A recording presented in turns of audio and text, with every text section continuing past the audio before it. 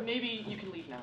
Wait, I, I came to apologize. Wha- Okay, apology accepted, please. I Wait, don't say anything. Just let me speak. Don't say a word until I'm done. two minutes.